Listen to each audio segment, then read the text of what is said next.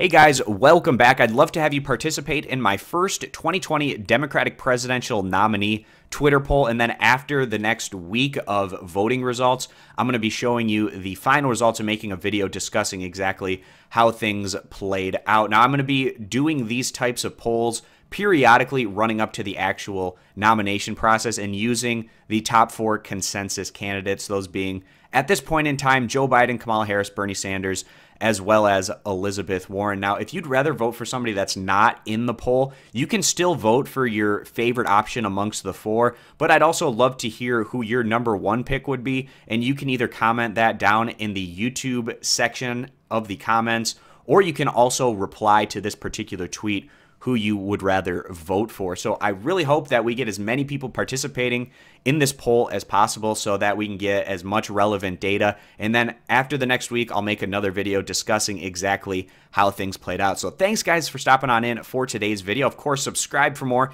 and I look to see you back here for the next video looking at the results of how things played out.